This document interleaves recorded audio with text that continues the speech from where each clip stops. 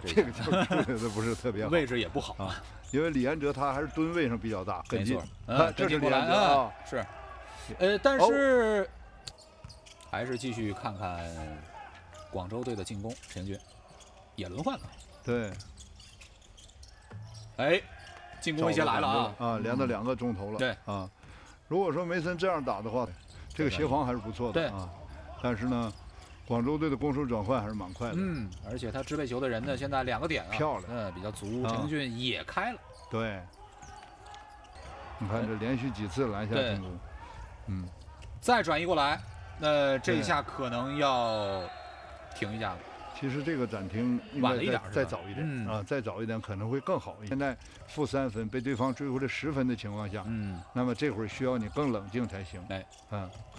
中距离，反倒这边冷静啊！对，反倒这边冷静。看梅森能不能给予还击啊？这是他在这个角色当中应该做的。对，关键的时候要站出来。哎，为什么不投篮？其实就是这道理。如果他有这识破你的意图，你要做出反向的，可能对你的更更可贵。被抢断了，对，被切下来。对，四打二，这快攻。但广州呢，在后场呢，现在做的是加瓦中一阵，再次出手又中，哇，四中四的外线啊，太夸张了，这个夸张用的好，太夸张了。比赛的时候确实存在着各样各样的这个角度或者，呵，又是特点，又一个。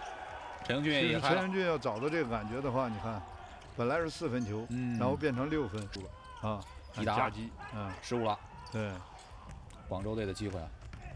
陈俊，哎呦，顶开了啊！呃，傅博文，对方是防守，对，要防守啊，要防守。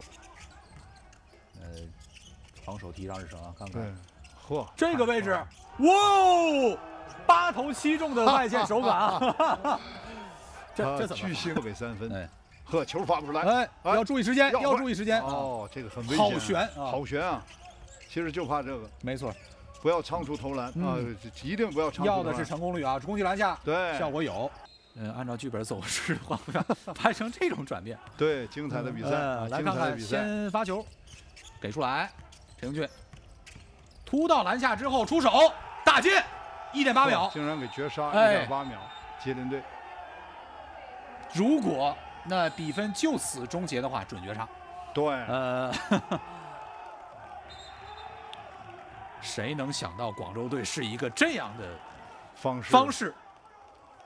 其实当时我就说，他这个讲这个两个人啊，就是陈英俊和这个谁啊。但是我觉得戴海波防守还是不